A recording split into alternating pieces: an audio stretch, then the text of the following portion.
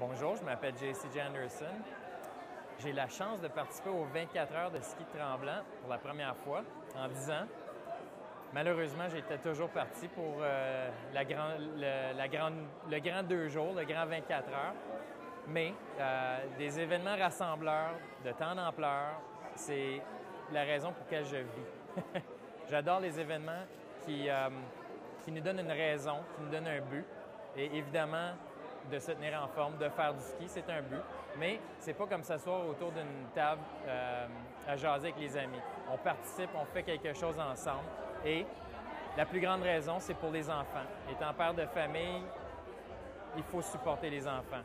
Il faut les aimer, il faut les aider, il faut les, euh, les parenter.